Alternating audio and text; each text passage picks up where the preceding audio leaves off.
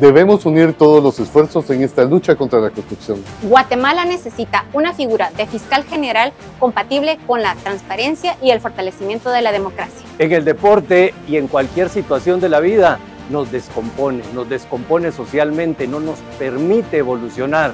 Es realmente algo que tenemos que terminar con él. Afuera la corrupción. Estamos con usted, señor presidente.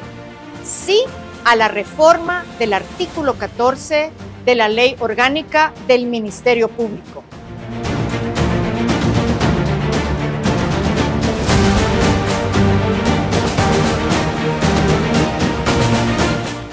Sin corrupción, Guatemala sale adelante. Ministerio de Cultura y Deportes.